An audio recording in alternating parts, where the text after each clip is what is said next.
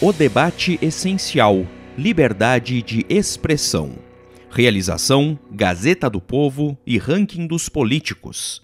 Apoio: Instituto dos Advogados do Paraná, Federação Nacional dos Institutos dos Advogados e Instituto Liberal. Este segundo painel vai tratar do tema a distinção entre liberdade de opinião e liberdade de narração de fatos.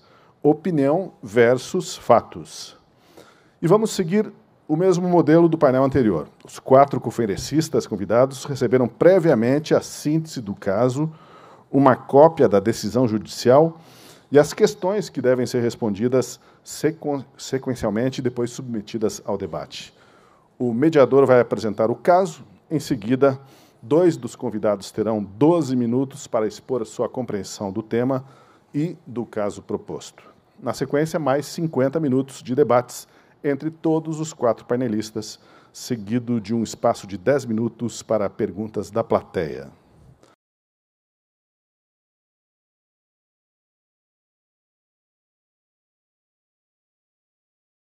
Fernando Schiller, doutor em filosofia e mestre em ciências políticas pela Universidade Federal do Rio Grande do Sul, com pós-doutorado pela Universidade de Colômbia, em Nova York. É professor em tempo integral e pesquisador do INSPER. Foi secretário de Estado da Justiça e do Desenvolvimento Social do Rio Grande do Sul e diretor da Fundação Iberê Camargo.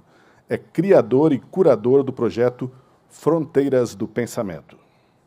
Em seguida, também convido para vir ao palco Nadine Strossen. Nadine Strossen, professora emérita da New York Law School, foi presidente nacional da União Americana pelas Liberdades Civis. É especialista e comentarista frequente nos temas de direito constitucional e liberdades civis, tendo sido ouvida pelo Congresso americano em audiências em múltiplas ocasiões. O National Law Journal nomeou Strossen como um dos 100 mais influentes advogados dos Estados Unidos é autora do livro Ódio, por que deveríamos resistir a ele com liberdade de expressão e não com censura. Em seguida, convido para subir também ao palco Paula Schmidt. Paula Schmidt, jornalista, escritora com mestrado em Ciências Políticas e Estudos do Oriente Médio pela Universidade Americana de Beirute. É autora do livro de ficção Eudemonia e o de não ficção Spies. Venceu o prêmio Bandeirantes de Rádio Jornalismo. Foi correspondente no Oriente Médio para o SBT e Rádio France e colunista de política dos jornais Folha de São Paulo e Estado de São Paulo. Escreve semanalmente para o Poder 360. Em seguida, convido para vir ao palco Rodrigo Xavier Leonardo. Rodrigo Xavier Leonardo, advogado, árbitro e parecerista professor associado de Direito Civil na Universidade Federal do Paraná, mestre e doutor em Direito pela USP, autor de diversos livros jurídicos, dentre os quais Associações, Redes Contratuais no Mercado Habitacional e Imposição e Inversão do ônus da prova. E para mediar este segundo debate, eu convido para vir à frente o debate que tem como tema distinção entre liberdade de opinião e liberdade de narração de fatos, opinião versus fatos, eu convido para vir à frente agora Ana Luísa Braga. Ana Luísa Braga, mestre e doutora em Filosofia e Teoria Geral do Direito pela Universidade de São Paulo, professora de Direito Constitucional da Faculdade Bela Vista.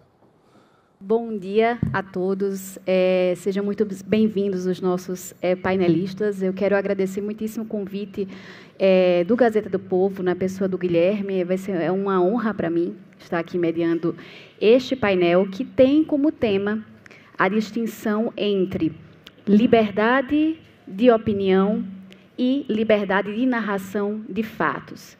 Mais precisamente, o que iremos discutir aqui é de que modo esta diferenciação, essa distinção entre narração de fatos e emissão de uma opinião deve impactar as nossas posições jurídicas em face do tema da liberdade de expressão.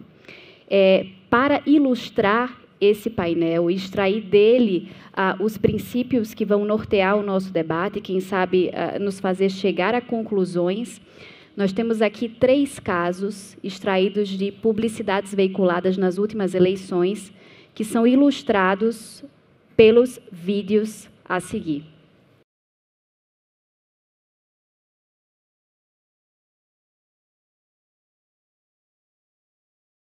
A lei do aborto no Brasil deixa livre para as mulheres decidirem se continuam ou não com a gravidez em três situações quando há risco de morte da mãe, quando a criança nasce sem cérebro ou em casos de estupro. Mas Lula quer mudar a lei e incentivar a mãe a matar o próprio filho no seu próprio ventre. Eu não quero ter um filho, eu vou cuidar de não ter meu filho. Vou discutir com meu parceiro, eu não quero. O que não dá é a lei exigir que ela tenha. Essa lei não exige cuidar. Tá vendo? Lula quer mudar a lei para incentivar o aborto. Todo mundo tem direito e não ter vergonha. Aqui no Brasil ela não faz porque é proibido.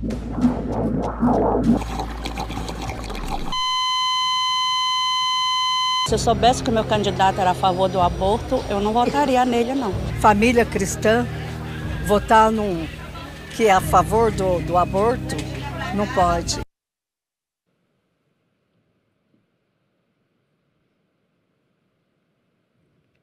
Você que sofre para pagar as contas e o mercado. Você que é aposentado. Você deveria estar com medo. Esta semana, o governo Bolsonaro anunciou o fim dos reajustes pela inflação do salário mínimo e das aposentadorias. Se já está difícil viver agora, com Bolsonaro vai piorar. O próximo alvo é acabar com o 13 terceiro e as férias. Não é à toa que maus patrões tentam forçar seus funcionários a votarem em Bolsonaro. Mas o voto é secreto. Bolsonaro nunca mais.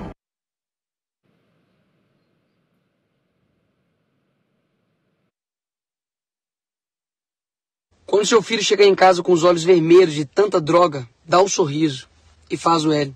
Quando matarem alguém que você ama por causa de um celular, fica frio, faz o L. Quando receber o contra-cheque com desconto de contribuição sindical, fica tranquilo, ó, faz o L. Quando você não puder mais expressar a sua opinião nas redes sociais, fica de boa, faz o L. Quando seu país for novamente saqueado para patrocinar ditaduras genocidas, faz o L. Quando o seu salário não for mais suficiente para alimentar seus filhos, olhe para eles passando fome, faz o L. Bom, no caso dos três vídeos, esses três casos que foram analisados pelo Poder Judiciário, a resposta do Tribunal Superior Eleitoral foi a mesma. É, a resposta foi a suspensão das publicidades ou remoção dos vídeos das redes sociais em que foram veiculadas. A respeito desses três casos, nós formulamos três perguntas para os nossos painelistas, que são as seguintes.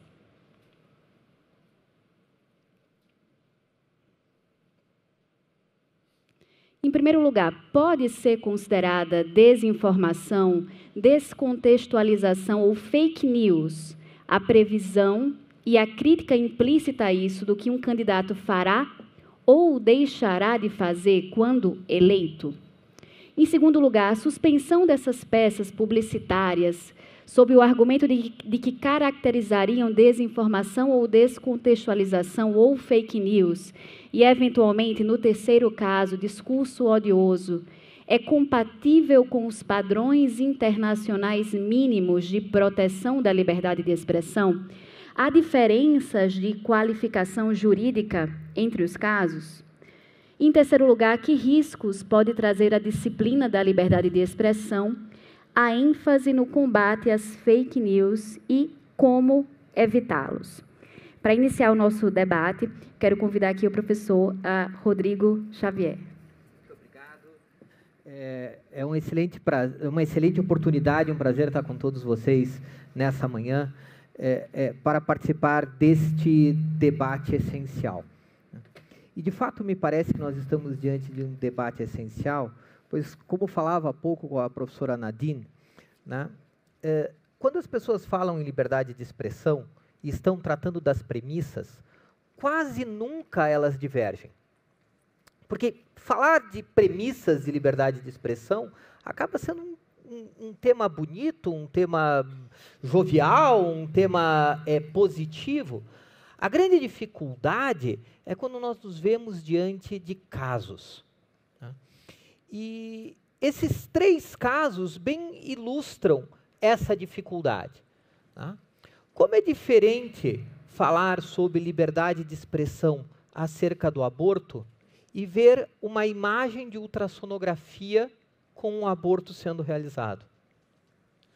Como é diferente falar de liberdade de expressão acerca de política salarial e ver o rosto de pessoas populares imaginando a, a, a deterioração da sua capacidade de compra com um salário mínimo.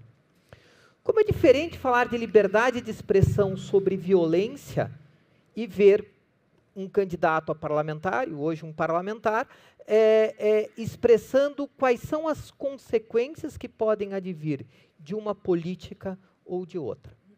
Tá? No Brasil, uh, uh, uh, ao menos desde o marco de 1988 da nossa Constituição, a liberdade de expressão é amplamente homenageada no texto constitucional. Uh, nada obstante isso, no último processo eleitoral, nós verificamos algo sem precedente, pelo menos dentro da minha experiência, que há mais de 20 anos eu trabalho com, com a proteção da liberdade de expressão em tempos de eleição. As discordâncias, ao invés de serem resolvidas mediante o mecanismo do direito de resposta, passaram a ser resolvidas por intermédio de decisões de exclusão do conteúdo comunicado. E muito é, sob o pressuposto de que o fenômeno das fake news e as, as possibilidades comunicativas das redes sociais exigiriam uma resposta diferenciada pelo Poder Judiciário. E dentro deste caminho, é, talvez tenha se tornado menos claro uma distinção que foi cuidadosamente desenvolvida na literatura especializada em termos de liberdade de expressão e também na jurisprudência brasileira, que é a seguinte: quando se fala da liberdade de expressão, da liberdade de comunicação, os conteúdos comunicativos são muito diferentes. Nós temos a liberdade de expressar fatos, nós temos a liberdade de expressar ideias, nós temos a liberdade de expressar opiniões, nós temos a liberdade de expressar manifestações artísticas. E, naturalmente, o regime jurídico aplicado a cada uma dessas modalidades, por uma construção histórica, ele não é o mesmo. Então, segundo a, a, a, essa, isso que foi consolidado na experiência brasileira, quando há a expressão de um pensamento mediante a narração de fatos, é possível fazer um juízo de veracidade ou de inverdade acerca destes fatos. Ao passo que, quando a modalidade de expressão diz respeito a ideias, diz respeito a opiniões, diz respeito a críticas, né, seria no mínimo, muito mais delicado, em primeiro lugar, realizar um juízo de verdade ou de falsidade. Porque as opiniões em si, elas não seriam, em geral, verdadeiras ou falsas, mas elas seriam mais adequadas ou menos adequadas segundo determinada visão de mundo. E ainda que fosse possível estabelecer um juízo de verdade sobre uma opinião, ainda que fosse possível, né? é, este juízo de verdade sobre uma opinião não caberia ao Estado, não caberia ao Poder Judiciário. A opinião mais adequada ou a opinião mais veraz decorreria do debate público. Então, conforme a modalidade daquilo que se comunica, haveria um determinado regime jurídico aplicável diferenciado.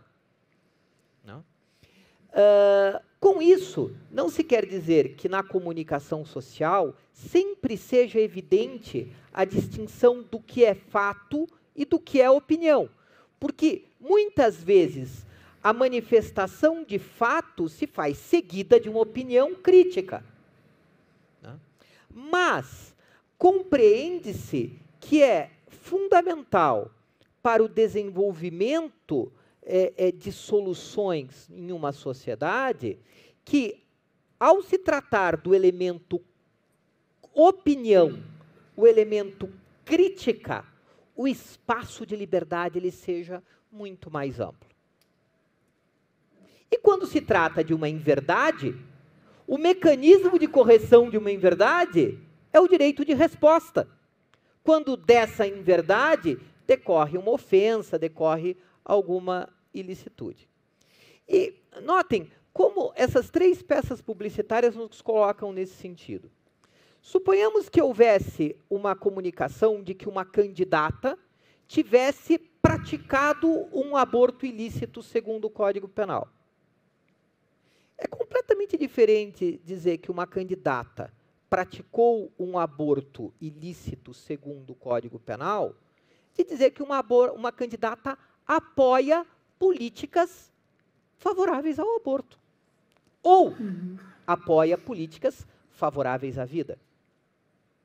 Suponhamos que houvesse uma informação que um candidato né, é, é, é, é propôs um projeto de lei para uh, um projeto de emenda constitucional para acabar com o salário mínimo no Brasil. É completamente diferente de discutir um candidato que pretende alterar uma política pública sobre os critérios de estabelecer o salário mínimo. Como também é diferente uma informação de que um candidato é, é, é, é, é um usuário frequente de entorpecentes, de se falar de que um candidato é favorável a um regime de flexibilização é, das drogas no Brasil. Fatos e opiniões são modalidades comunicativas diferentes e que exigem regimes jurídicos diferentes, até mesmo porque potencialmente violam bens jurídicos diferentes. Né? E quando se limita a possibilidade de expressar opiniões, né, limita-se a própria capacidade que a sociedade construa soluções para as suas mazelas, para as suas dificuldades, para os seus desafios que se colocam. E notem, a mentira sempre existiu. É, é, e a busca pela verdade também. Né? Só tem sentido em nós falarmos em proteção contra fake news em uma sociedade na qual a verdade importa. Agora, é muito custoso que essa verdade seja ditada pelo governo ou pelo poder judiciário. E esses três temas, aborto, política salarial e violência pública, são excelentes para que nós possamos exemplificar esta, esta situação. Né? É, e também, se nós olharmos essas três peças publicitárias que foram é, cuidadosamente eleitas pela organização do evento, nós temos muito claro que a liberdade de expressão não é inofensiva. Muito menos num período eleitoral a liberdade de opinião, ela não é inofensiva porque ela provoca. Ela provoca repulsa, ela provoca sentimentos de indignação, ela provoca movimentos políticos, ela pode sensibilizar aquilo que há, como colocado pelos painelistas anteriores, aquilo que é mais, é, mais básico ao humano. mas ela serve justamente para isso.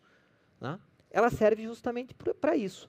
E se é retirada a possibilidade das pessoas discutirem amplamente temas como aborto, como violência pública ou como a política salarial, posteriormente há uma sensação de submissão né, àquilo que os governantes ou aqueles que detêm o poder acabam é, tendo a, a condição de, de, de determinar para uma nação. Assim, é, é, se nós queremos sair das premissas gerais sobre quais todos concordam da liberdade de expressão e enfrentar o que é, de fato acontece e acontecerá no Brasil, me parece nuclear voltarmos a distinguir o que é um controle sobre a inverdade fática e o que é um controle sobre a opinião inconveniente. Essa distinção compõe o debate essencial. Seriam essas as minhas considerações. Muito obrigada, professor Rodrigo, que trouxe aqui distinções muito importantes, né? E, e, trazendo exemplos muito claros que nos mostram de que modo, de fato, deve haver uma regulamentação diferente e um tipo de resposta diferente quando nós estamos lidando com fatos ou com opiniões. Para a gente continuar nossa discussão aqui, eu passo a palavra para a Paula Schmidt, que vai nos, nos uh, complementar essa, essa, esse nosso começo de discussão. É, obrigada, parabéns pela iniciativa. É, eu, eu, queria, eu queria falar de algumas coisas do acórdão da, da Carmen Lúcia sobre esse caso, do, uh, o caso da Car que a Carmen Lúcia uh, decidiu foi o do aborto. Um, eu, eu vejo, sim, algumas nuances ali em que Bom, em primeiro lugar, eu quero dizer que eu não acredito que uma previsão possa ser censurada. É, pela própria essência, a previsão é, presume uma confabulação, uma especulação que, por definição, não tem obrigação nenhuma de se comprovar. Essa é a essência de uma especulação política, de uma análise futurológica, é, se, se a previsão tivesse obrigação de estar correta, jamais, haveria, jamais teríamos é, é, meteorologia ou previsão do tempo ou qualquer coisa desse gênero. Então, é, eu acho que a especulação é livre. Agora, no caso do. E também acho que é não só livre, mas uh, justo, inclusive, a, a especulação ali de que o Lula apoiava, apoia o aborto. É, isso não é, uma, é, um, um voo de imaginação, ficou claro ali. Só que daí, quando se diz que ele vai incitar a mãe a abortar, eu já acho que cabe aí sim um questionamento de uma extrapolação bastante um, delicada e que sai injusta porque ser a favor do aborto também não significa ser a favor de incitar a mãe a abortar. Né? Então, tem essa, essa sutileza. Mas tem uma coisa muito reveladora no acórdão da Carmen Lúcia, que eu acho que ele está. Essa, essa frase da Carmen Lúcia está no cerne de toda a questão sobre liberdade de expressão. Ela fala o seguinte: ela diz aqui. Um, as notícias são transmitidas atualmente principalmente por meio das redes sociais e aplicativos de mensagem, e cada vez menos pela imprensa tradicional, o que contribui para o aumento da desinformação e das notícias falsas, as quais circulam livre e gratuitamente nas redes sociais. A palavra gratuitamente é crucial aqui, porque antigamente a mentira era muito bem paga. E só quem era autorizado, através da oficialização da mídia comercial, podia mentir sem medo. A gente, eu não preciso vir aqui com exemplos clássicos, mas a gente sabe de inúmeras mentiras perpetradas pela mídia oficial, por jornais, é, que nunca sequer foram punidos por isso. E a ele sempre foi dado uma aura de autoridade para mentir sem medo nenhum. Só que não gratuitamente. Quem faz isso gratuitamente são pessoas nas redes sociais que têm interesses uh, pessoais, não necessariamente escusos, podem ter sim, a gente sabe, é, de disparos de mensagens e de organização, de, uh, de manipulação através da, da informação.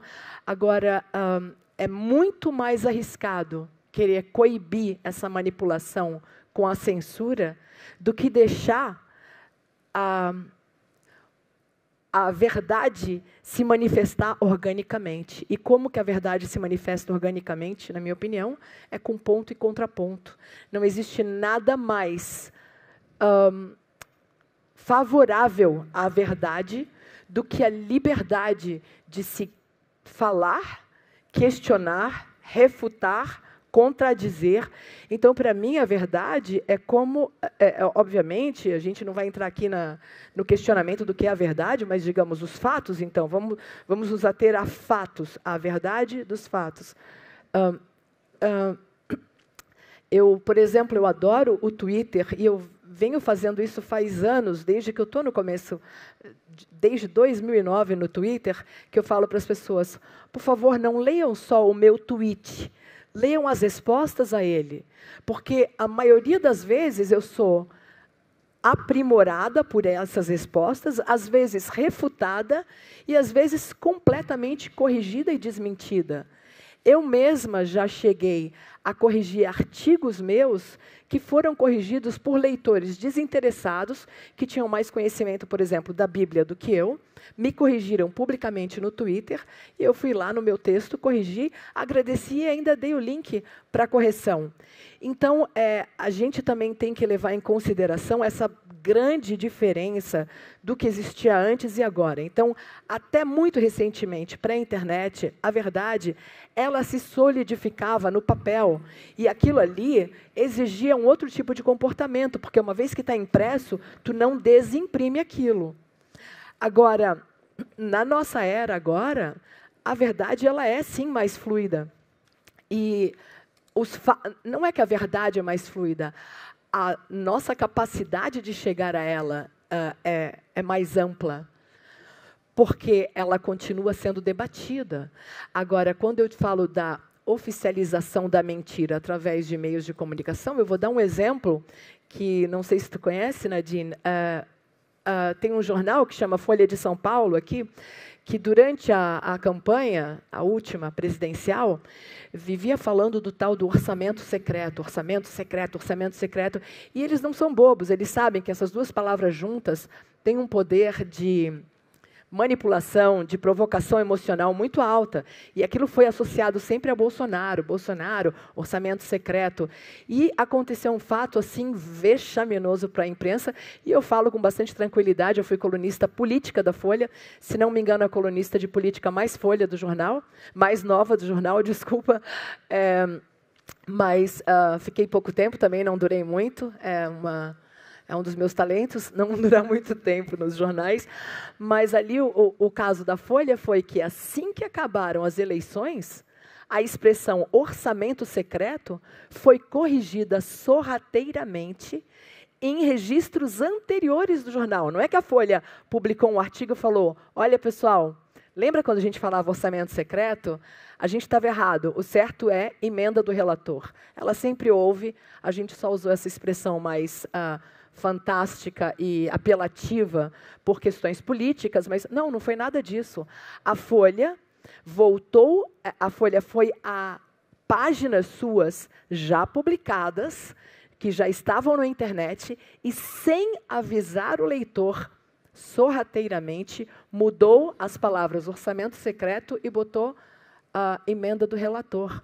E a gente só conseguiu ver e a, a, ver a prova, flagrar esse ato, porque existe uma página que chama archive.org, é um, é, chama archive.org, também tem uma que chama archive.is, que registra imagens uh, da internet e que nos permite, então, ver como a verdade vai sendo atualizada de acordo com a conveniência política. Então, eu, um, só para terminar um pouquinho, eu sou contra qualquer dessas censuras aí mostradas no começo. É, eu, eu entendo, sim, a emergência em momento uh, eleitoral.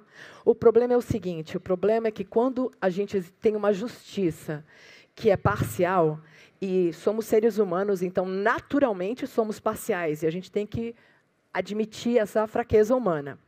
Admitindo essa fraqueza e admitindo também que às vezes instituições inteiras são parciais e, infelizmente, têm uma parcialidade majoritariamente para um lado, aí a, a, a solução mais segura é que não haja censura nenhuma, porque então organicamente, um ponto vai ser combatido por um contraponto. E vai ser aquela coisa que eu disse, que eu chamei de verdade orgânica, em que ah, os fatos vão sendo depurados como água que passa no riacho, nas pedras e na grama. Aquilo tudo é sujeira, mas aquilo purifica a água. Ah, eu acho que a verdade e os fatos também são assim. Então, ah, eu não acredito que o Lula queira incitar mulher a fazer aborto, mas acho legítimo dizer que ele ele é a favor do aborto. E ele e a campanha dele sabiam que ser a favor do aborto era crucial e seria, seria definidor de perda de votos. Então ele preferiu. Aí então a gente vê que a justiça está sendo usada para impedir a verdade de vir à tona.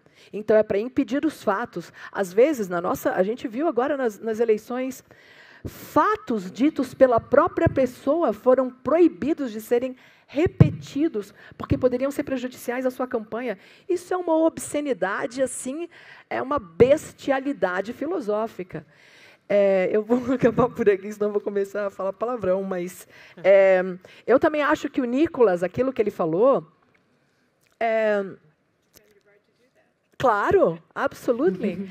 E, e, aliás, eu também não acho que é uma extrapolação esdrúxula, não. Aquilo ali, quando ele fala do. Uh, enfim, os exemplos que ele deu, achei que, uh, que não são completamente uh, destemperados. Mas eu fico por aqui, então. Obrigada.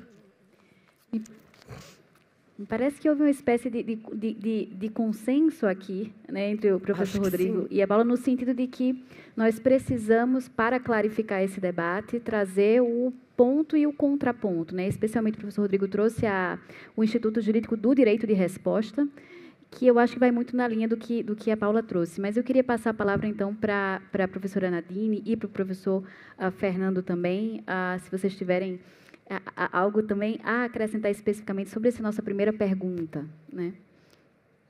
Well, thank you so much. It's uh, wonderful to be here. I'll just add my thanks to everybody else. Um, uh, I think that the uh, the opportunity to have different perspectives from different countries is really important because it underscores to me that what we're talking about are really universal principles.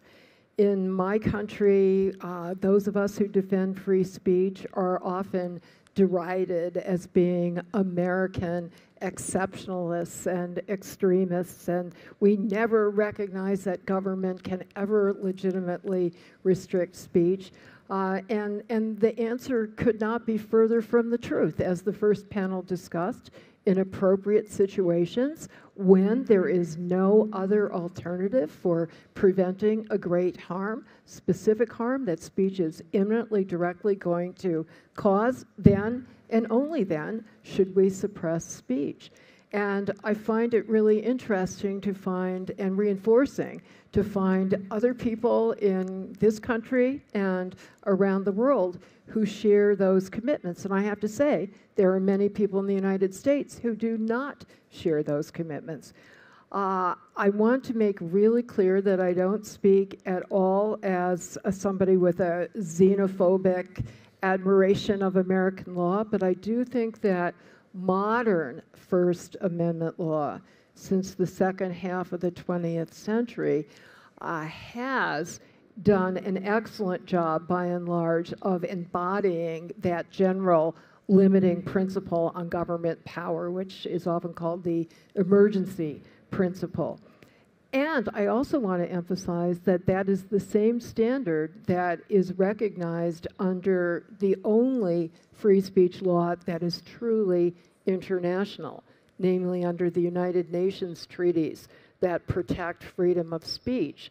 Many people don't know this, but those treaties recently have been authoritatively interpreted by uh, the agencies and officials at the UN who have the uh, responsibility to monitor and to implement those treaties have been interpreted as incorporating that emergency principle. And that's truly global law that almost every country in the world has subscribed to, including Brazil. So I think it's important as I talk about First Amendment examples to underscore that that's uh, illustrative of standards that have been ratified on a worldwide basis. Now, I understood you, Paula, to be quite clear in saying that you disagree with the repression of all three examples, and I think you were saying that, Rodrigo, but I'm not positive. Okay, so I, I just want to start by saying I agree. I think that um, none of those examples satisfy the emergency principle. And I want to be Yes, so that government may restrict speech if, but only if, the speech poses a genuine emergency in the sense of directly, imminently causing certain specific serious harm. You know, falsely shouting fire. So that's an example of a lie that can cause immediate harm. Um, but on the other hand, if the theater is on fire, you want people to shout fire, so it's all very fact specific. And, and uh, as, as that example illustrates, there are a couple types of lies or false information that do satisfy the emergency standard. In addition to falsely shouting fire in the theater and causing a panic, uh, defamation is a really good example. Uh, but appropriately, the US Supreme Court has narrowed the definition of defamation when you're talking, when the allegedly defamatory statement that intentionally disparages somebody's reputation, when the somebody who's disparaged is a government official or running for public office because we want to bend over backwards to avoid self censorship. You know, what some people consider to be true, other people consider to be not true. And if you face damages, or even if you face a lawsuit, you're going to over uh, be overly cautious and hold your tongue for fear of being subject to prosecution or a lawsuit for, for libel. And so, so I, I think of that old saying that's attributed to William Blackstone that we'd rather have 10 guilty people go free than one innocent person be convicted. We'd rather have 10 lies out there in the world than, you know, one truth suppressed.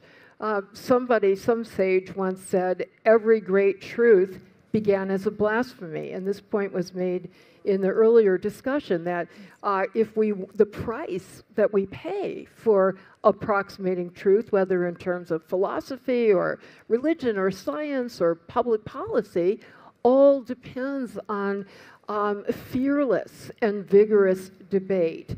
And so, even in terms of the goals that are asserted for suppressing the speech, in, in these situations. The goal is very important. The goal is to preserve the integrity of the electoral process, to preserve democracy. But the other part of the emergency test is not, is not satisfied. You mm-hmm. cannot show that this restriction is necessary to prevent great harm. In fact, the restriction may do exactly the opposite. It's suppressing democracy. And I, I noticed of all of the cases, there was only one in which there was one dissent. The, to me, that unanimity was rather surprising. And the one dissent was in the abortion case. And I read the dissenting opinion, and the judge said, um, this ruling is interfering with people's exercise of their power as citizens in a democracy. Um, the freedom of speech is so important not only for individual liberty, the right, as was said in the first panel, not only for people to convey information and ideas, but also to receive information and ideas. That is especially important in a democracy where we, the people, wield sovereign power. How can we do that responsibly if we can't engage in the most vigorous debate without fear of the so called chilling effect? So, the United States Supreme Court uh, said that when, we're the, when the topic is public policy, free expression is more than a matter of self expression. It is the essence of self government, the essence of self government. And so, if there's any situation where speech should be especially free and fearless, it's exactly in the context of these electoral situations. And I understand there's a counter argument because people say, well, but the speech can do the greatest damage in that context because people will be led astray and they'll miscast their vote. But it's an even greater danger to have government, or I would also say to have powerful, unaccountable social media companies step in and interfere with that democratic process. So, another part of the emergency test, which is replicated in international law, is that the restriction has to be necessary to promote this really important goal, in this case, democracy. And the concept of necessity entails the notion of the least restrictive alternative. I think I heard Patricia uh, refer to that in the last panel. And that means if there can be another step that's less invasive of free speech, that would be at least as effective in promoting that goal, you've got to use that alternative. And here, and I get, you know, Patricia's work so well illustrates that, experts say far more effective than suppressing the disinformation is more information. People who tend to believe conspiracy theories are only going to have their suspicions enhanced as a result of suppression. They say, see, we knew that we were onto something. Why would they suppress it unless it was true and unless it was dangerous? Also, even the most repressive regime in the world is not going to be able to completely eliminate all falsehoods, all misleading expression. So the only thing you can possibly do is inoculate people against it. And, and a lot of uh, psychologists and educators and other experts who work in this area use that immunization example. They say, you know, better than debunking uh, false statements after the fact is pre-bunking giving people critical media skills, uh, teaching them how to do fact checking, inculcating a constructive attitude of skepticism. You know, not complete distrust. That's also terrible when you have no faith in uh, in any institutions, but when a healthy degree of skepticism and the self confidence that with education and tools and online resources, you can do a better job of ascertaining the truth, coming closer to the truth, rather than letting the government prescribe it. Uh, I'll just make one other point, which is that the concept of fake news, disinformation, misinformation, unlike the concept of defamation or uh, another example of uh, false speech that satisfies the emergency test is fraud, where you intentionally make a false statement intending somebody to rely on it. You may have seen last night a judge in New York issued a ruling that Donald Trump uh, had engaged in fraudulent misrepresentations on, uh, in assessing his, his value of his property. Um, Uh, but beyond that, when we use these inherently vague and subjective and manipulable concepts as fake news or disinformation, no two people can possibly agree on what it is.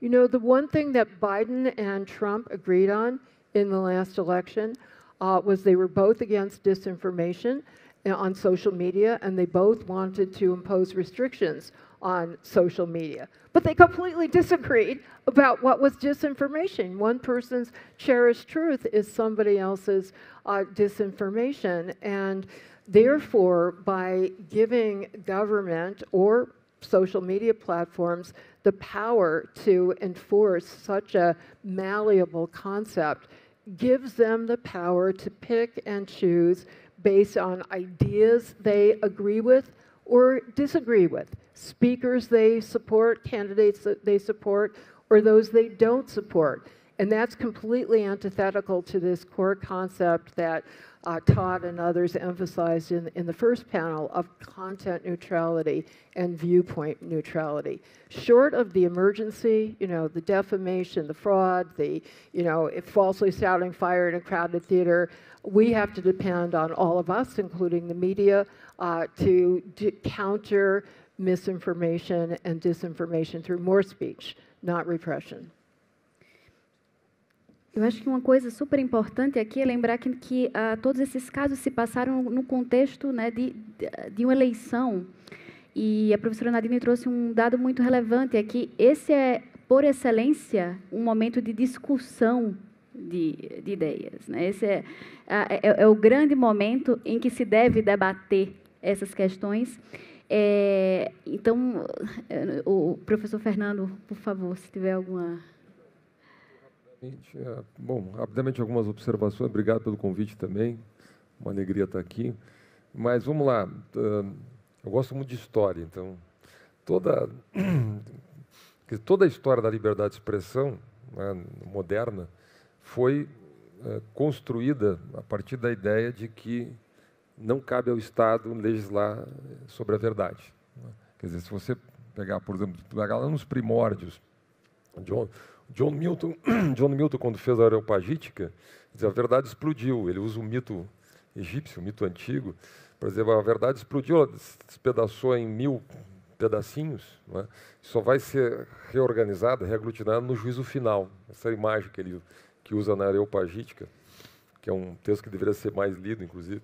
É? Então, assim, esqueçam essa ideia de que alguém vai ter a verdade. Inclusive, ele, ele diz, bom, os juízes ingleses não têm a verdade, então os juízes ingleses não devem fazer a, a censura dos livros, é? mesmo em nome do parlamento inglês. Depois isso vai ser retomado pelo, pelo John Locke, quando John Locke faz o, as cartas, suas cartas sobre a tolerância, né? primeira carta especialmente, ele, ele, ele fala do argumento alpino. Né? Num certo momento ele pergunta, o argumento alpino, de que lado dos Alpes está a verdade? Né? A verdade está em Londres, a verdade está em Paris ou será que está em Constantinopla? Na, naquela, naquela época, o grande tema era a religião, hoje é a política. Né?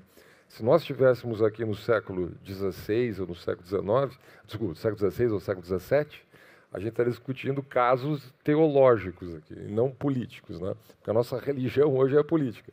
A gente fica brabo lá com o Nicolas Ferreira ou com outro falando, não sei o quê. Imagina como eles ficavam bravos, alguém falando que sobre a Trindade, né? sobre o princípio da Trindade, ou sobre o batismo das crianças, né? Michel Servetus, Michel Cervez, que é um grande herói da liberdade de expressão, foi queimado em, em lenha verde em 1540, 1553, em Genebra, porque ele divergiu desses dois pontos, a trindade e o batismo das crianças, que era muito mais grave do que, a, o, que o Nicolas Ferreira está dizendo, ou essa discussão sobre se o Lula é a favor ou contra, o Bolsonaro. Isso aqui é bobagem, perto das questões gravíssimas que eles discutiam, que eram questões teológicas. Né? Então, assim, e, e a liberdade de expressão ela foi criada, na verdade, por heróis intelectuais que disseram assim, olha, o Estado não deve ser uma matéria de consciência individual. É? Bom, e depois vem o grande James Madison, presidente, quarto presidente americano, no Virginia Report. O Virginia Report de 1800 é outro texto pouco lido, que deveria ser muito lido. E ele diz assim, os fatos os fatos e as opiniões eles vêm misturados na discussão pública. Né? Se você quiser separar isso que tu falaste, você falar, se você quiser separar exatamente onde é que está o fato, onde é que está a opinião, pensar ali no meio da opinião um fato, né? isso que tem nessa discussão, por exemplo, da, da Carmen Lúcia, não, não, mas ah, o Lula realmente falou, realmente pode ser que no governo ele faça isso, mas tem uma pontinha ali que não é, então separa essa pontinha. Bom, se nós entregarmos, delegarmos esse trabalho para o Estado, esse trabalho de pinça para o Estado, olha, nós, nós estamos recuando 300, 400 anos na história. 300, 400 anos na história. Né? Porque, além disso, a grande lição do, do, do John Milton, na aeroporto, é que os, os, juízes não são infalíveis. Vamos pegar um exemplo que não está aqui, tá? não está nos três, mas para mim ele é claríssimo. Envolve, inclusive, a Gazeta do Povo, porque é aquela matéria onde se associava o Lula aos ditadores latino-americanos. E o nosso Tribunal Eleitoral também mandou tirar. Não pode associar o Lula ao Nicolás Maduro, ao, sei lá, ao Daniel Ortega. Bom, só que o Lula é umbilicalmente, que não é nada contra nem a favor do Lula, tem direito de ser vinculado a quem ele quiser. Né? Como o Bolsonaro também é vinculado. Aqui no Brasil é o seguinte: né? cada um tem os seus ditadores favoritos. Tá? Então tem um, um lado gosta dos ditadores aqui, outro lado gosta dos ditadores lá, tá bom? Então tá, todo, tá tudo em casa. Mas o Lula gosta dos ditadores dele. O, né, a gente viu no governo, logo chegou o governo, o Brasil não assinou uma carta de repúdio à infração de direitos na Nicarágua, o país retomou relações com a Venezuela, recebeu o Nicolás Maduro em Brasília com uma, um popstar, dizendo que era um grande amigo do Brasil, e agora, recentemente, o Lula gastou alguns preciosos minutos do discurso da ONU, na abertura da ONU, para defender Cuba. E foi para Cuba abraçar o Dias-Canel. Então, o que, que tinha de falso na associação do Lula com os ditadores latino-americanos? Que é conhecida há 40 anos, há 40 anos, que nós sabemos, todos sabemos disso. E ele não esconde, ele diz, abraça, beija. Só a justiça eleitoral diz que era proibido. Então, isso é John Milton. John Milton, 1644, na Inglaterra, dizendo os juízes são falíveis. E se nós entregarmos o poder para eles determinarem o que é a verdade ou não, se nós aceitarmos esse princípio, eles vão errar, eles vão falhar, eles vão arbitrar. E, e mesmo que eles acertassem, eu não quero viver num, num mundo né, curado, como diz aqui, curado, né, sob a tutela do Estado me dizendo que é verdade ou não. não é? Então, é, porque o grande, o grande lance que eu aprendi com os americanos, os ingleses, né, sobre a liberdade de expressão, é, quer dizer, a permissão do erro e da mentira é o preço que nós temos que pagar pela preservação de um princípio que nos faculta a verdade. Essa é a grande lição da liberdade de expressão. Na condição de, de moderadora, o Guilherme me autorizou a colocar lenha na fogueira, né? Em, alguma, em algumas das questões. É, e a primeira pergunta que eu gostaria de fazer, já que a gente ainda está no âmbito né, desse, desse, nosso grande tema, que é essa, essa, essa distinção entre, entre liberdade de opinião e narração de fatos, é então uh, todos os nossos painelistas aqui estariam de acordo de que não caberia, por exemplo, é, ao ao Poder Judiciário ou tampouco ao legislador fazer esse tipo de distinção entre fato e opinião para fins de regulação da liberdade de expressão? Essa é uma pergunta. Então, na, na verdade, eu estou dando um passo atrás. Estamos aqui uh, partindo do princípio de que isso não é uma discussão, uh, uma distinção jurídica relevante para resolver o caso.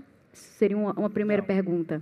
É, eu isso discordo. É eu discordo. Eu acho que em, em uma série de situações é muito difícil, é realmente difícil, por vezes impossível, é, é, distinguir o que é manifestação de fato e manifestação de opinião. Mas muitas vezes a, a, a análise dessa distinção é fundamental, não só para verificar se existe um lícito, algo lícito ou ilícito, mas também para dosar qual é o remédio jurídico adequado. Então, por exemplo, é, é, eu achei muito é, é, é interessante o posicionamento da Paula, no sentido de, olha, é muito evidente que o candidato à presidência é, é exposto é favorável ao aborto. Mas, entre ser favorável ao aborto e incentivar o aborto, há uma diferença grande. Do que eu estou de acordo. Agora, opinar que ao ser favorável ao aborto, você está incentivando essa prática, é algo lícito. Isso. E tanto é lícito que vamos supor o seguinte: se não estivesse no jogo de quem decide tirar a peça publicitária, mas estivesse no jogo pedir direito de resposta. Será que o candidato ia pedir direito de resposta para dizer que ele, na verdade, é contrário Uhum, ao aborto? Porque ser favorável ao aborto também rende votos. Claro. Né? Agora, na medida em que nós retiramos a distinção entre fato e opinião, né? e retiramos o regime jurídico do direito de resposta para a decisão de retirada do conteúdo, o assunto saiu do debate. Então, essa distinção é uma distinção importante.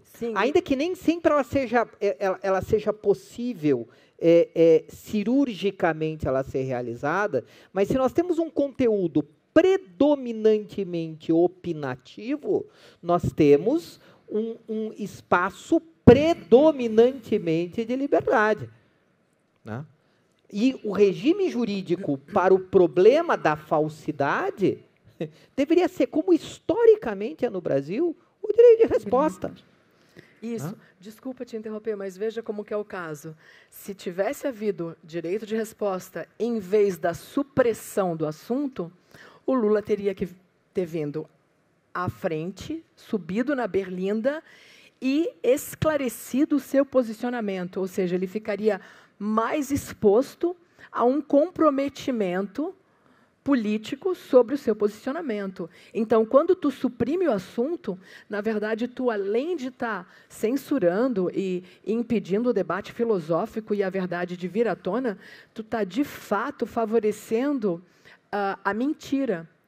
É, a, sob a desculpa de estar querendo coibir a mentira, você a está favorecendo, porque daí tu não confronta a pessoa. Outra coisa, por exemplo, quando tu permite que as pessoas mintam, tu, assim, quando alguém mente, quando A mente sobre B, a gente fica sabendo mais sobre A do que sobre B. E isso é informação também, isso é fato que vem à tona. Veja o caso do Janones, que foi colocado ali. O Janones é um mentiroso contumaz. E eu falo isso com muita tranquilidade, porque o próprio Janones já provou que ele é um mentiroso contumaz. Tem um vídeo dele que ele fala um negócio do. Ele fala o seguinte, eu até copiei aqui, porque ele fala assim, ó. Um, ele fala o seguinte. Uh, no governo Lula, tem esse vídeo numa entrevista, acho que é Jovem Pan, não lembro. Uh, no governo Lula era uma roubalheira e só bandidagem do PT que tinha acesso ao orçamento secreto. Então, uh, esse tipo de coisa, digamos que ele estivesse mentindo, é importante a gente saber que o, que o Janones falou isso. Porque isso é uma revelação sobre o Janones. Então, a censura ela só serve como supressão a, su, o, a, supressão da mentira é a supressão também da verdade que iria ser usada para coibi-la, para combatê-la, refutá-la. E vejam aqui, assim, como o, o é, é, é, claro, é, mas nós poderíamos, ao invés de tratar da peça que, que, que foi censurada em favor da candidatura do Lula, também olhar para a peça que é, é, que a peça oposta a, a, a, a, matéria publicitária dizendo que o, o Bolsonaro era a favor da, da, da de se extirpar a correção da, da salário mínimo, do salário mínimo, também por direito de resposta, né, o, o, candidato, usando as palavras da Paula, ele teria que vir a Berlinda uhum. e expor qual é a sua é. posição sobre algo que é socialmente tão relevante uhum. quanto a, a, a, remuneração. Mas essa distinção entre fato e opinião, ela é fundamental, até porque é, também seria equivocado se nós retirássemos a possibilidade do Poder Judiciário em alguma medida, fazer correções sobre inverdades graves. Né? Assim, digamos, se alguém vier publicamente e disser uma mentira gravíssima sobre a minha pessoa, eu quero ter a chance de, de, de é, é, poder ter mecanismos jurídicos para que a verdade seja reestabelecida. O que é diferente de se fulminar a possibilidade de expressar uma opinião, ainda que seja uma opinião muito indesejável. Né? Como a que o Nicolas acaba apresentando, mas como aquela do, da, da, matéria, da, da matéria em, em, em, é, é, é, em relação ao, ao, ao, Bolsonaro. Imagina uhum. o desespero num país é, uhum. dotado de uma população é, é, predominantemente pobre no Brasil, imaginar que seu, sua parca remuneração vai ser diminuída. Então, tudo isso é muito importante. Mas é importante para ser discutido enquanto opinião, e se há uma inverdade fática, que seja respondida não com a extirpação do conteúdo, uhum. mas com o mecanismo do direito de resposta. May I? I'm so sorry. I, I, wanted to complicate it even a little bit further because I don't think there's really a binary, bright line distinction between facts and lies on the mm -hmm. one hand and opinions on the yeah. other hand because, you know, and a, a discrete, narrow, objectively verifiable or falsifiable fact is never what we're debating. We're debating matters of interpretation, analysis, perspective, rhetoric, you know, hyperbolic rhetoric. We all understand that the person is, seems to be making a factual assertion, but they don't really mean it. It's like over the top rhetoric to make a point. Mm -hmm. And um, we, if, peop, if members of the public do not have the analytical skills to parse those different meanings, then we're really in trouble as a democracy. I think we have to, again, to me, it comes back to education and more information, helping uh, members of the electorate understand that they shouldn't necessarily take every statement that's made literally. Olha, só uma observação assim é primeiro, não é, nós temos esse espaço eleitoral gratuito, teoricamente não é gratuito, né, de rádio televisão, que parece que faz a gente supor uma certa tutela especial do Estado. Então, bom, ali como é uma concessão, digamos assim, pública, né, então o Estado teria uma tutela. Então, é, então esse é um ponto. Eu, eu sou inteiramente contra esse, esse modelo. Não tem, tem espaço uhum. eleitoral gratuito ou não obrigatório nenhum. Como eu acho, não tem, tem que ter dinheiro público em campanha eleitoral. Que isso vai estimulando, vai, nós vamos criando um ambiente de tutela é, do Estado. Então, isso tudo. Agora, vamos lá. Imagina, sempre quando, se, se a gente aceita o princípio de que cabe ao Estado determinar o que é verdadeiro ou não, porque no fundo é isso que nós estamos discutindo aqui. A única coisa, única não, mas a coisa realmente relevante que nós estamos discutindo aqui é isso. Nós vamos delegar a um juiz, a um ministro, a um tribunal. Agora tem a procuradoria, essa da Defesa da Democracia, que é do executivo também, a, a, né, administrando o que é verdade. Então, dizendo, ah, esse jornalista falou a verdade, esse jornalista não falou a verdade, vamos processar ele. Então, vamos fazer. Isso tem no hum. Brasil também, não quero assustar. Não. Mas tem isso também. O executivo, além disso, também está processando jornalistas porque não diz a verdade. Então, se nós aceitamos este princípio, nós temos o slipper slope, nós temos a ladeira escorregadia. É, óbvio, é evidente, no mundo inteiro, em qualquer lugar do tempo, você tem a ladeira escorregadia, porque quem vai dizer qual o limite? E quem vai dizer qual né? é o, o, ponto de parada? Então, até aqui a gente pode ir, mas dizer, o que a gente viu, nós temos um pequeno exemplo no Brasil nas últimas eleições disso, onde a ladeira já correu. Né? Porque se eu admito a hipótese de que, bom, vou, vou, vou extirpar a mentira, eu vou arbitrar, bom, então... Né, e, é, Fernando, isso... isso é seríssimo. E aqui nos acórdãos, por exemplo, alguns dos conceitos de como que eles chegaram ao decreto de que algo é ver, verdade ou não, foi através de agências de checagem, é. que são financiadas por ONGs, que são financiadas por bilionários. Ou, matérias é de jornal. terceirização do ou que é... matérias de jornal. Ah. O outro, só, eu não é. quero falar demais, mas assim, o outro ponto importante é, é o princípio que você tem, dizer, quando você, se nós não admitimos, se nós dizemos assim, não, não é só na hora eleitoral, é em toda a internet, é em tudo que é falado, na mídia inteira, no mundo inteiro. Não é um, bom, nós, a Suprema Corte tem essa propensão universalista, assim, então no mundo inteiro. É. Bom, então tem uma, uma coisa chamada cherry picking, para usar a expressão de cherry pick. Então, vou pensar que essa verdade, tipo, a do Janones pode, mas a do Nicolas Ferreira Isso. não pode, ou só pode a do Janones, do Nicolas Ferreira. Bom, mas eu estava na, na, na, Band, trabalho lá como comentarista político, no dia que saiu o PIB, no dia que saiu o PIB do ano passado, deu 2,9. Exatamente nesse dia que saiu o PIB, o Lula deu uma entrevista para um jornalista lá do Grupo Bandeirantes. E disse na entrevista que o, o, país não tinha crescido no ano passado. Não cresceu nada no ano passado. Tá, aí deve estar tá aí na internet, em algum lugar, a entrevista dele. Eu lembro que eu estava cobrindo, né, eu estava comentando. Eu disse, opa, será que o tribunal vai... É, fake ah, news, né? O presidente da República é uma objetiva fake news, Rodrigo. É, é. é inverificável. O IBGE está dizendo uma coisa, isso. o presidente está dizendo outra. É. Como é que faz? Só que isso é uma... Isso é uma, um grãozinho de areia numa praia gigante. Uhum. Se você, o, quer dizer, o, nós, o Estado vai monitorar todas as fake news uhum. ou só 10% das fake news? Ou, quem sabe, só 1% das fake news? Ou 0,1% das fake news? Como é que ele vai escolher desses? Vamos dizer que a gente cria uma cota de fake news. Só pode ter, só pode censurar 0,1% das fake news. Quais serão as 0,1% das fake news? Tem uma cota que vai preencher. Cada ministro pode tem direito a 10 fake news por mês. Então nós temos 111 fake news. Cada um tem direito a 10 por mês. Bota assessoria, escolhe as mais importantes. Aí, que é de um lado ou do outro, né? Então, bom, tem que supor o seguinte: uma inteligência artificial brilhante, o ministro não tem bias nenhum, ele vai saber hierarquizar isso, ele vai botar na cota dele exatamente as mais importantes. Isso é uma loucura absoluta. Isso é uma completa absoluta. Eu, eu, eu, eu, digo assim, eu, eu, eu, eu simpatizo com, a, com, o argumento do Rodrigo quando ele diz assim: bom, direito de resposta em certas condições. Tá bom, quando se faz debate lá, a Banjas tem os debates, então, os grupos têm os debates por aí. Então você tem o direito de resposta em alguns momentos né, muito restritivos, etc.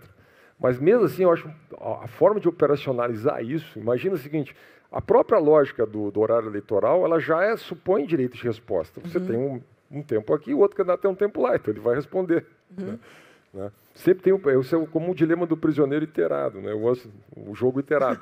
o problema é a última rodada. Né? Isso, Na última rodada, eu me lembro quando fazia acompanha, sempre o último, o último programa é o mais terrível, né? porque não tem como responder, então tem que administrar isso, mas imagina, vai ficar o tempo inteiro direito de resposta, né? Vai, Vamos inverter os tempos de programa. Eu acho muito difícil de operacionalizar isso. De certo modo, a gente está, por favor. I wanted to uh, point out something that was uh, came to light as a result of some of the many defamation lawsuits that we had in the United States after the 2020 election, when there was a lot of disinformation uh, at best, lying at worst about who had won the election and whether there was any tampering with uh, electoral processes. And you may have read about this historic settlement uh, in a lawsuit brought by Dominion Voting Systems uh, against uh, many against Fox News, which was basically mm-hmm. Uh, promoting what people in the United States call the big lie, and I think it is a lie that that Trump uh, won the election. Uh, and this particular company, which provides voting machines for elections, not only at the national level, but at the local level, uh, understandably felt that its reputation was harmed. Mm-hmm. More than that, members of its staff were subject to harassment and threats and even physical assault because uh, Trump's avid Trump supporters thought that they had stolen the election from their hero. And even mm. though the standard for winning a libel lawsuit are appropriately very tough, as I explained earlier, experts, First Amendment experts, said the evidence is very strong here that Fox News actually intentionally conveyed lies. They knew that this was an objectively falsifiable fact and, and their email communications and other communications that came to light during the litigation process provided that evidence. And so, wow. under threat of seriously fi- uh, facing liability, the company settled uh, and received a, a, lot of money from Fox News. Now, what those communications from Fox News showed is the following: people tend, people who oppose uh, disinformation or support the suppression of disinformation think that it's the purveyors, the communicators of the disinformation that are causing people to have false beliefs. And that's what endangers democracy. What the record showed in this case, and psychologists say that this is predictable, is it was the other way around.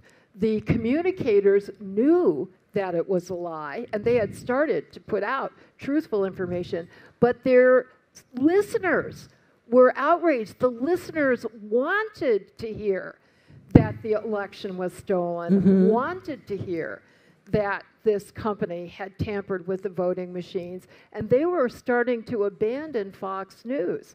So it wasn't that the disinformation drove consumers to the audience to have false ideas. It was the audience was um, entrenched in this belief that was impervious to facts, and they drove the media to provide the disinformation.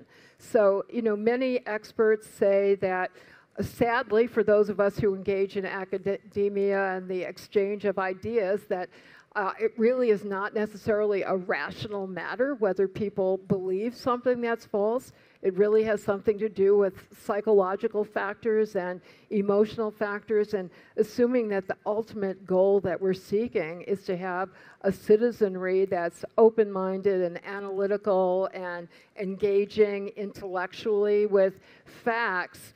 We have to, that is such a deep problem, and suppressing or punishing disinformation is, is worse than a band aid because it just distracts us from trying to get at the deeper roots of the, of the real problem here. Agora, se vocês me permitem, veja. Eu gosto muito de, dessa fala, Nadine, porque, é, é, é, de fato, é, às vezes o problema da mentira não está só no comunicador, mas está no interesse dos demais de que essa mentira seja falada para que ela seja propagada. Né? Então, rigorosamente, fake news só podem ser um problema para uma comunidade que acha que a verdade é um valor. Porque se a verdade não é um valor, fake news não pode ser um problema. Né? E, e, e, e, digamos, é, é, é melhor preservar, se não é possível separar opinião de fatos, preservar a liberdade de expressão, do que o contrário. E nisso me parece que estamos todos é, de acordo, pelo menos pelo que eu, eu estou colocando, é, pelo que eu estou percebendo. Mas veja, é, é, há algumas características do direito brasileiro, por exemplo, que são muito diferentes do direito norte-americano. A nossa Constituição estabelece, junto com a liberdade de expressão, a garantia do direito de resposta. Então, eu sei que nos Estados Unidos da América o direito de resposta é visto de uma maneira muito mais restritiva do que no Brasil, que é uma garantia constitucional. Está lá junto, uma coisa está junto com outra. E há bons fundamentos para que eles sejam separados. Mas o, o fato é que na nossa Constituição é, é, é, é, é, eles estão juntos. Né? E se é assim, né?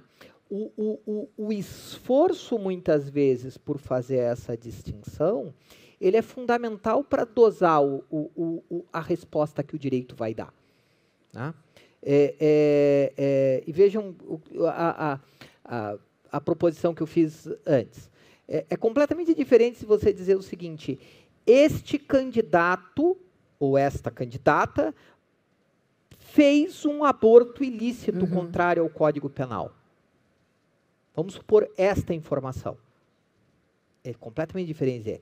Esta candidata ou este candidato, por intermédio do seu histórico, do que falou, ele é favorável ao aborto e mais, incentivará caso eleito.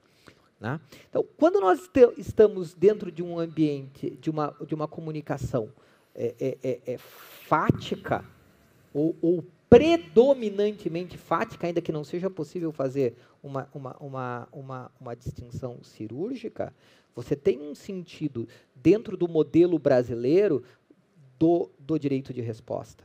Quando nós estamos numa comunicação predominantemente opinativa, nem o direito de resposta caberia. Uhum. Porque a opinião não é verdadeira ou falsa. A opinião ela pode ser mais conveniente ou menos conveniente, e daí ela vai estar dentro do, do, do, do, do debate.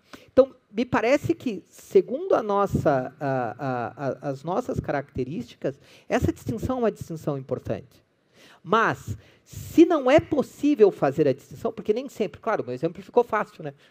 É mais fácil você é. dar exemplo escolar do que você resolver as questões que aparecem na vida, né? E nós, professores, somos ótimos em darmos exemplos escolares mais fáceis. Uh, uh, mas, se não é possível distinguir, que haja uma, um, um predomínio é, é, é, da liberdade de expressão. Agora, sendo possível distinguir o que é expressão de fato e o que é opinião, né, que dentro de um debate num momento eleitoral, que as situações de abuso elas sejam resolvidas com aquele mecanismo que é constitucionalmente adequado que é o direito de resposta. Rodrigo, e o que na pergunta? nossa história sempre foi utilizado desse modo. Posso fazer uma pergunta, Rodrigo? Favor, Só claro. para esclarecer. Em tese, concordo, acho que concordamos, não sei se, mas eu concordo com, com, com a tua preocupação. Ah, mas assim, vamos lá, boa parte do que foi feito no Brasil nos últimos anos, tá? poderia citar vários casos aqui, mas acho que os casos são conhecidos de todos, né? foram supressões à liberdade de expressão, censura prévia, tá? em nome da, em nome do, da ideia de fake news, em nome da ideia de inveracidade fática. É? Então, por exemplo, isso é. Então, assim, como confiar nos juízes para fazer esta distinção que tu estás propondo? Porque tu estás propondo uma distinção que delega ao juiz, é? digamos assim, a faculdade de dizer o que é em verdade fática ou fazer essa distinção muito sutil entre opinião e fato. É? O que a gente viu no Brasil nos últimos, nos últimos anos é que o nosso judiciário tem muita dificuldade de fazer essa distinção. É? Que ele atribuiu faticidade, por exemplo, todas são sobre as urnas eletrônicas, por exemplo. É? Quer dizer, bom, então você, quer dizer, você, por exemplo, nós tivemos um caso no Paraná do Fernando Francischini, ele fez uma denúncia num certo momento de que ele achava, é? na minha visão equivocada a denúncia dele, eu, aliás, passei nos últimos anos só defendendo pessoas que eu considero inteiramente equivocadas. É um destino de quem trata de liberdade de expressão defender os equivocados. Né? Mas ele, usando a sua faculdade de deputado, para que, que eu quero um deputado? Para que quando ele acha que tem um problema, ele faz a denúncia. Se ele acha, na convicção dele, que está acontecendo uma fraude ali, ele tem a obrigação de denunciar. Ele, ele corre o risco, como tu bem disseste, se depois de dois anos verificar, investigando que era, não era verdade aquilo, que ele fez uma denúncia que não devia ter feito, bom, ele correu aquele risco. Agora, eu quero o seguinte, que os deputados só façam denúncias quando eles têm absoluta certeza, eles vão ter a mesma certeza que, que se terá daqui a dois anos, depois de investigação, de que aquela denúncia é verdadeira. Então, não, ninguém vai fazer denúncia mais, porque eu tenho medo de denunciar. É. Eu, tenho, vou ter medo de denunciar qualquer coisa, porque vai que seja falso o que eu estou dizendo aqui. Só que eu preciso denunciar agora, né? É certo? É então, por exemplo, se eu vejo uma mulher gritando, por exemplo, num apartamento, eu vou denuncio porque ela pode estar sofrendo uma violência. Bom, eu, eu tenho que primeiro comprovar se ela está realmente sofrendo violência para depois denunciar. Não, eu, eu, vou correr o risco de denunciar, porque isso tem uma urgência, certo? Então, quer dizer, a, mas o, o, o, nosso judiciário cassou o mandato do deputado sob o argumento que aquilo não era verdade, que aquilo era uma ameaça, etc. Então, como confiar nos juízes?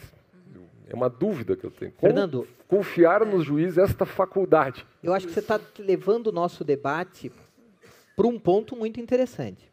Porque, primeiro, é, é, é, os casos que você apresenta e os casos apresentados, né, mas ficando muito dentro dos casos apresentados, todos nós aqui consideramos que foram decisões equivocadas. Tá? Uh, mas se a gente colocar a história da jurisprudência do Supremo Tribunal Federal pós 1988, do Superior Tribunal de Justiça, é uma história de preservação da liberdade de expressão. Né? O que acontece é que a gente teve uma, uma mudança de caminhos com o combate às fake news. Se nós formos pensar, vamos supor, a Operação Lava Jato, a Operação Lava Jato foi amplamente debatida no Brasil graças à liberdade de expressão que foi garantida pelo Poder Judiciário. Né? O Estado do Paraná teve um caso célebre, o caso dos diários secretos, né, que mexeu com o núcleo do, do, do, do, Poder Legislativo Estadual e que foi amplamente debatido com a garantia do Poder Judiciário. Né? É, é, Pós-88, nós vínhamos num caminho em que o Poder Judiciário estava reafirmando a liberdade de expressão. Você pega votos históricos do ministro Carlos Aires de Brito, votos históricos do ministro Celso de Mello, votos históricos do Supremo Tribunal Federal Brasileiro, foram em de preservação da liberdade de expressão. Agora, na última eleição, nós tivemos uma nova configuração. E uma nova configuração com base na ideia das fake news. Então, desculpa só te, essa tua premissa de que o combate é às fake news, eu tenho objeções seríssimas a isso. Porque eu não acho que essa é a verdade, eu acho que isso é só uma forma de fazer a censura parecer mais legítima. Na verdade, é o monopólio da mentira que eles querem manter. A mentira, fake news, sempre aconteceu. Eu trabalhei Sim, mas... na Folha, no Estadão, SBT, Rádio France Internacional. Eu sou jornalista, a gente sabe que existe mentira no jornalismo. Então, como é que não havia combate a fake news antes? Como é que não tinha uma Suprema Corte indo atrás de, de grandes jornais? O que eu, a minha contenção é que o que eles querem é manter o monopólio da mentira na mão de pessoas que, como sugere a Carmen Lúcia, não mentem gratuitamente. Entendeu? Então, eu acho que eu, eu entendo a tua. Eu acredito no que tu estás falando, dessa progressão histórica ali mas eu acho que é uma manutenção de monopólio e não é, uma emergência de fake news e agora temos que combater porque elas, de repente, o mundo começou a mentir. Não, mas Entendeu? tudo bem. Então, o que você coloca, Paula, é que a, a, a, a, fake news é uma desculpa, tá? Mas o que eu é. quero colocar é que essa, essa, esta, essa narrativa, ela tem um determinado momento histórico. Tá, ela não faz parte do... Ela não, não foi sempre assim. Né? E, e, e, e de fato, uh, uh, todos esses casos, eles levam a esse desassossego. Puxa, mas como é que nós vamos uhum. confiar o Poder Judiciário fazer essa distinção? O que eu me coloco é que não pode ser feita a, distinção segundo esses critérios, nós temos que avaliar esses critérios. E um dos discrímenes possíveis é justamente é, é ampliar ao máximo a liberdade de opinião, ainda que a opinião indesejável, liberar ao máximo a liberdade de opinião, ainda, a, a, ainda que seja uma opinião dura, uma opinião ácida, uma, uma, uma opinião severa, né? E para as inverdades é, é, que dizem respeito a fatos, se utilizar o regime do direito de resposta. Né? É, é, porque retirar do Poder Judiciário a possibilidade de avaliar situações também é nós alterarmos hum. o nosso modelo constitucional. I, it's hard for me to jump yes. in because the translation is a little bit behind, so it's a, it's a great discussion. Thank you. Uh, I would like to offer another constructive, uh, less restrictive alternative that I think is not only more consistent with liberty and democracy, mm. but also more effective. Uh, it's what I have found most useful in evaluating campaign ads because I have to say those I was admiring those ads from the perspective of, you know, how can you most effectively advocate a position that puts your opponent in a bad light without completely lying, mm-hmm. right? It's we call mm-hmm. that you know we pay people to do that. It's effective yeah. communication, and um, some newspapers in the United States, including the and this may happen here too, but I'll use my home newspaper, the the New York Times, uh, during campaign season assembles a um, ideologically uh, diverse group of journalists who then analyze some of the most prominent campaign ads that are getting the most attention and being the most influential. And you can't give them a thumbs up or a thumbs down. It's that's much too oversimplified. Mm-hmm. Instead, they evaluate and they'll talk about you know what's mostly true, what's partially mm-hmm. true, what's subject to debate, you know, is this a fair commentary? And you really learn so much more as a voter by going through that mm-hmm. process. Mm-hmm. Now, as I indicated earlier, I think there are a lot of voters who may not be interested, you know, as with all kinds of prohibition, where by trying to prohibit disinformation, we're concentrating on the supply side, whereas we really should be looking at the demand side. What do we do to stop people's hunger for disinformation and create their hunger for this kind of nuanced evaluation and analysis? Yeah, validation they want, right? É, então, agora só para a gente sumarizar um pouco, eu acho que, que uh, todos ficamos de acordo que essa espécie de, de, de caça, né, as, as fake news, elas são extremamente nocivas no sentido de que elas uh, prejudicam aquilo que é muito caro à, à, à, democracia, que é a ideia de mercado de ideias. Né? Que, que as pessoas elas têm o, o, dever de confrontar e, e, buscar a verdade, ainda que seja por um meio, um instituto jurídico como é o Instituto de Direito de Resposta, que eu diria que é até um instituto que amplia a circulação de ideias. É uma espécie de resposta jurídica que permite que haja uma, uma, uma resposta a, a, no âmbito da circulação de ideias. É, teremos um painel específico para, para debater as sanções é, cabíveis, mas eu queria trazer aqui algumas. Na verdade, eu tenho aqui três perguntas. É, eu vou trazer aqui, a primeira uma pergunta a respeito de um tema que ele não apareceu uh, diretamente na nossa, na nossa discussão, mas que me parece algo interessante. É, a pergunta aqui é do uh, Tiago, diretor do Instituto Brasileiro de Direito Religioso, né? Ele pergunta se, uh, se na opinião né, do, do, dos, dos presentes aqui, uh, nem o governo nem o Supremo são de fato capazes né, de distinguir a verdade e a mentira. qual a opinião de vocês, painelistas, sobre as empresas de checagem? uh, que, que se tornaram muito populares recentemente, né? É, elas, elas, elas merecem nossa, algum tipo de. A nossa jornalista aqui pode. Sim. Eu acho uma das maiores tragédias para o jornalismo que está acontecendo com as ideias de. Eh, tem gente que chama de chocadores de fatos. Os checadores de fatos, eles têm é, interesses até bem. Uh, bem nítidos, são financiados por geralmente por bilionários que se disfarçam com ONGs.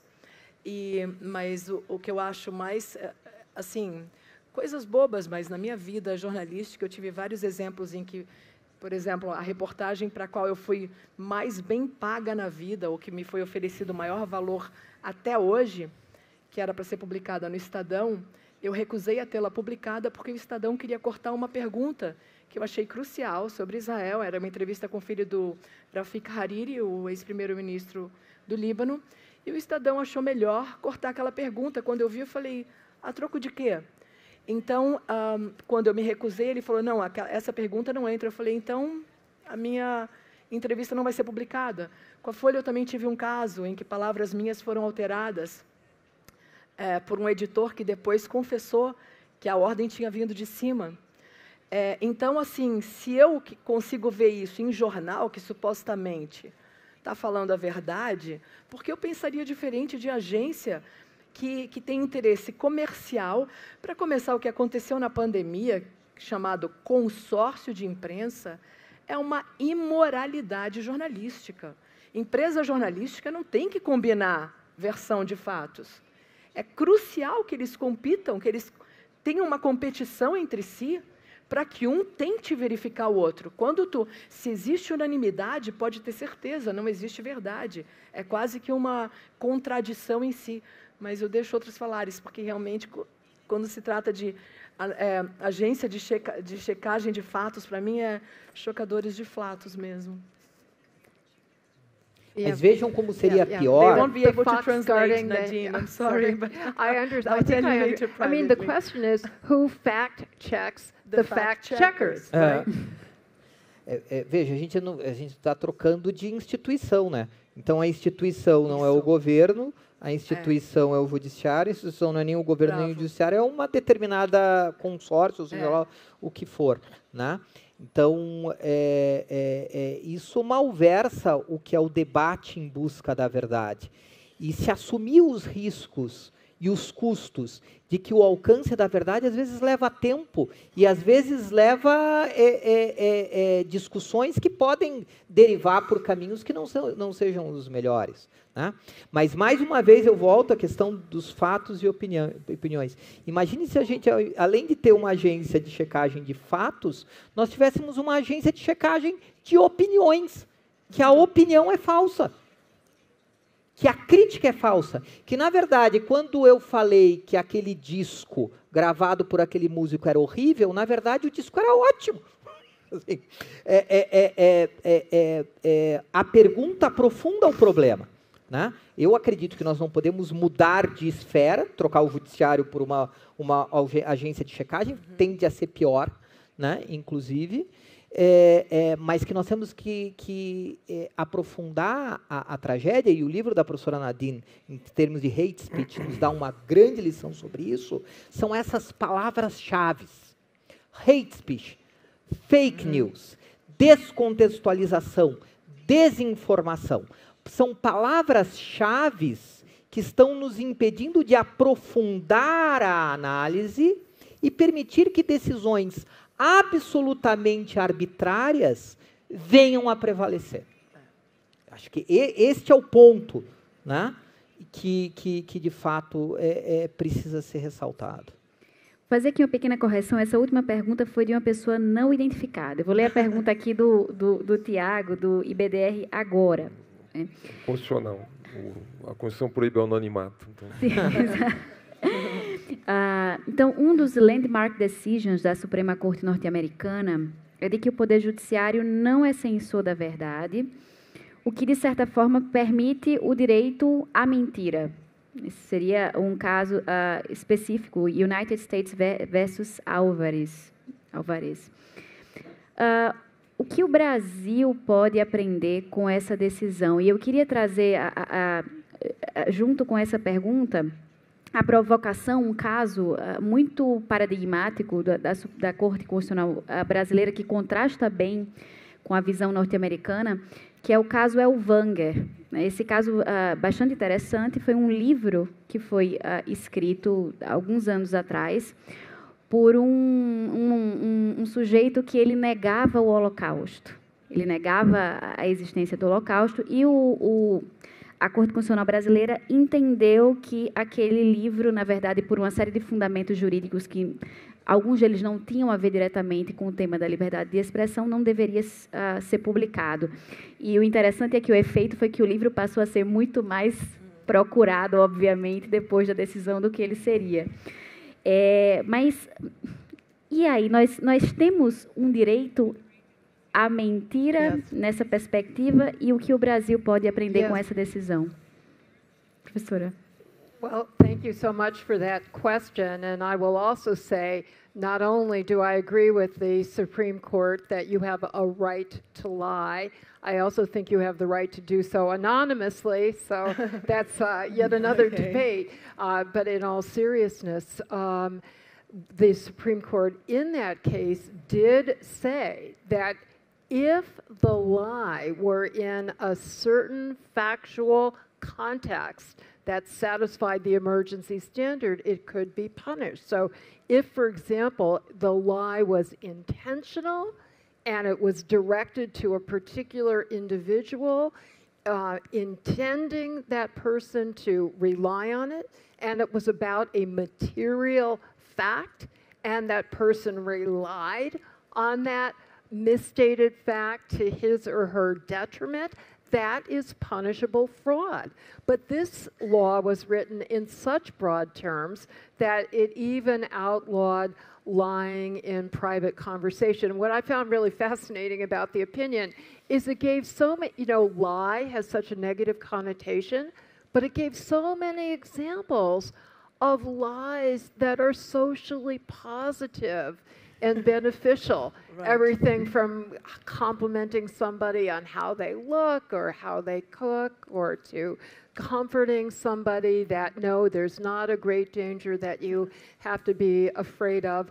Uh, but the basic point was that we have, when the, when the lie is about a matter of public policy and public debate, harmful as it might be, even more harmful is giving the government the power to punish the lie. And it was in that context that the Supreme Court said, we have no need in our democracy for Orwell's ministry of truth. We depend for truth on, it's not for the government to tell the people what's true, it's for the people to debate among themselves and tell the government what's true. Se me permite, eu acho o seguinte, eu não falaria num direito à mentira, até porque você tem setores muito grandes, né? Por exemplo, na, no, no processo judicial, né? o, o, o, o, advogado não tem direito de mentir. Né? Uh, o que eu diria é que nem toda mentira é ilícita. E não pode toda mentira ser ilícita. Né? Lembremos daquele belíssimo filme A Vida é Bela, que é a história de uma mentira. né? É, é, é, e nós não podemos, em nome yeah, é, é, da busca da verdade, criminalizar as relações humanas. Caso contrário, a gente estava conversando sobre isso, né, Guilherme, antes do, do início, ah, nós teríamos o, o, o, próprio sistema jurídico engolido por um sistema moral e é, muito duvidoso. Né? É, é, se toda mentira fosse, fosse automaticamente criminalizada, nós não estaríamos, nós estaríamos em outro âmbito que não o âmbito jurídico, que requer um tipo de limitação à atuação do Estado. Uh, e aqui, nós temos aqui mais, mais quatro minutos. Uh, uma última pergunta.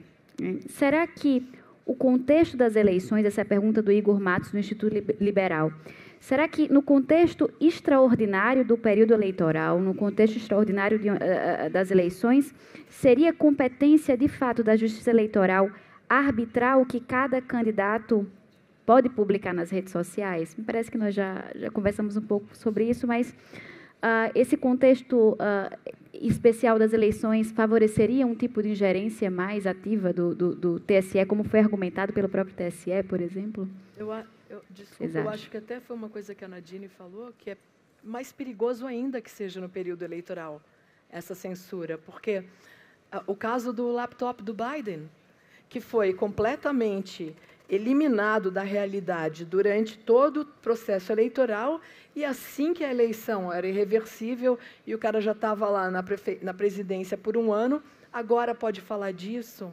E é por isso também que o, a questão do aborto foi eliminada. Ninguém queria direito de resposta ali, porque o Lula provavelmente não iria querer esclarecer seu posicionamento. Ele preferia, obviamente, que a coisa fosse totalmente obliterada e colocada para debaixo do tapete. Eu não acho que justifique, não tem essa emergency exception. Olha, tem, tem uma, só para uma citação, assim, né, eu lembro o John Stuart Mill, no segundo capítulo do On Liberty, né, ele tem alguns argumentos interessantes sobre esse tema da mentira, ele chama de erro, né? Qual é o papel do erro, né? Porque tem, uhum. tem um uhum. certo senso comum na nossa sociedade. Uhum. Se o erro está errado, por que a gente não tira o erro, né?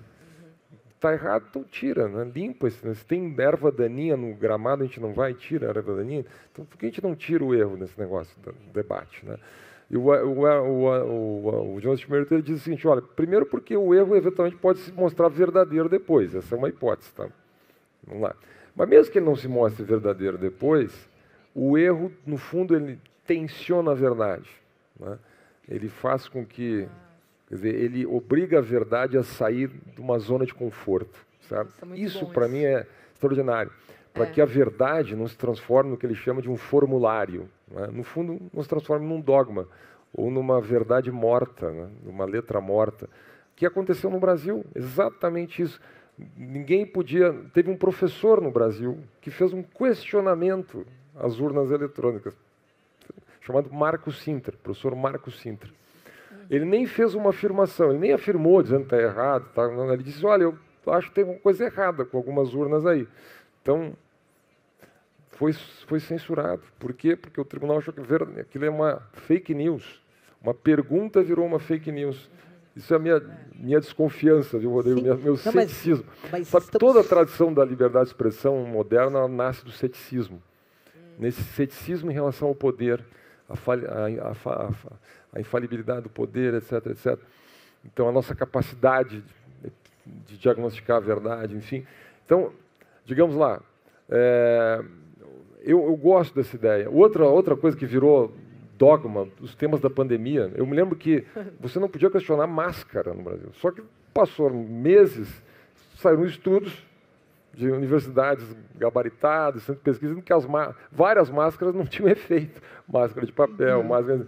Só que, então, a verdade, você criticar a máscara era importante, porque obrigava as, as pessoas que usam máscara, defendem máscara, produzem máscara, a, a, melhorar as máscaras, a explicar melhor as máscaras, ou fazer máscaras melhores, uhum. ou botar no mercado, ou tirar as máscaras ruins do mercado.